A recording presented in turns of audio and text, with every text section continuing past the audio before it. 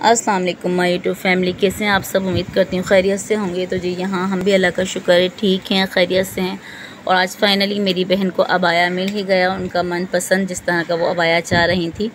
तो आज मिल गया था, माशाल्लाह से ये आई हुई थी अपने कुछ इन्हें मैंने आपको पिछली वीडियो में ही बताया था कि थोड़ी शॉपिंग के लिए और फिर आज बिलखसूस इन्हें, इनके साथ में जा रही थी एक तकरीब में। इन्हें बिलखसूस बुलाया गया था, तीन चार माह पहले से ही कॉल की जा रही थी कि लाजमी इन्हें नशरा पढ़ाने के लिए जाना था अपनी एक शागिर्द को।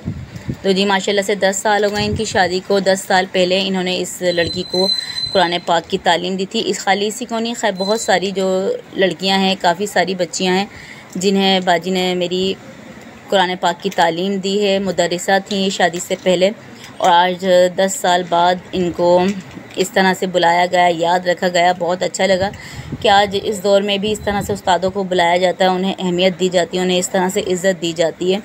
तो जी, बहुत ज़्यादा अच्छा लग रहा था। और मेरी सिस्टर भी काफ़ी टाइम बाद मेरे घर आई थी, इस तरह से रुकती नहीं है, लेकिन बिलखसूस इन्हें बुलाया गया था तो इसलिए ये मेरे पास रुकी थी।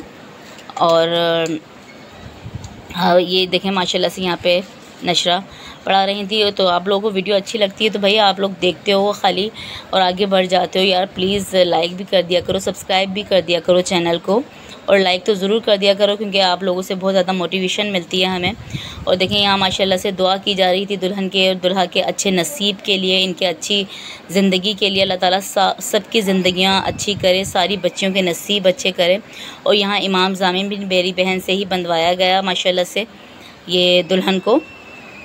अल्लाह ताला इनका नसीब अच्छा करे, इनके सदक़े सारी बच्चियों के ही जो हैं, जो अपने घरों में हैं, सब बच्चियों के अल्लाह ताला नसीब अच्छे करे। काफ़ी टाइम हो गया था, कोई रात का तकरीबन हमें एक बज गया था यहाँ पे और बस अब ये खाना लग चुका था, बहुत ही मज़ेदार पुलाव था और ज़रदा था।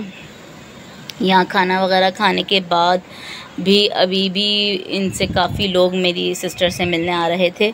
क्योंकि काफ़ी इनकी जो मज़ीद जो शागिर्द थी, वो भी यहाँ पे आई हुई थी और बहुत खुश हो रही थी इनसे मिलके। क्योंकि ये भी अपने घर में बच्चों में इस इतना इस कदर मसरूफ़ हो गई हैं कि बस अब कहीं जाना आना नहीं करती।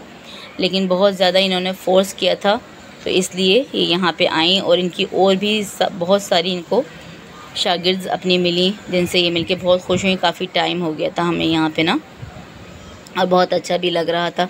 बस अब मैं कह रही थी कि भाई अब जो भी मिले, आप इन्हें जल्दी जल्दी अल्लाह हाफिज़ करें और चलें, क्योंकि बहुत ज़्यादा टाइम हो गया है।